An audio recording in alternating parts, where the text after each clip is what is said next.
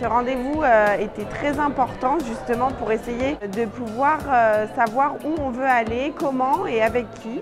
La franchise au départ, je ne connaissais pas du tout. Après cette petite mini-formation en tout cas, je, pense que j'en sais beaucoup plus.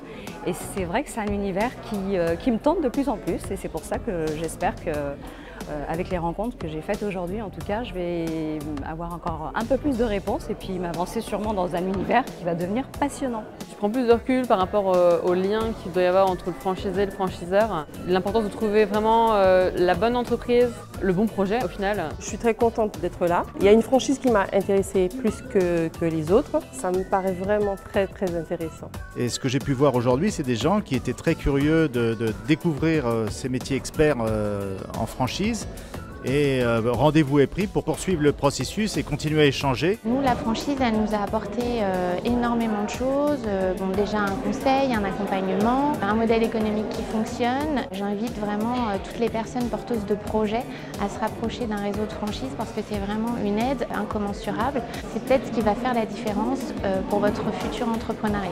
Donner envie d'entreprendre pour, pour des femmes, je pense que c'est très important et moi j'adore ça, parler de ce que je fais. Aujourd'hui, entreprendre au féminin, c'est aussi une liberté qu'on a et qu'on doit acquérir.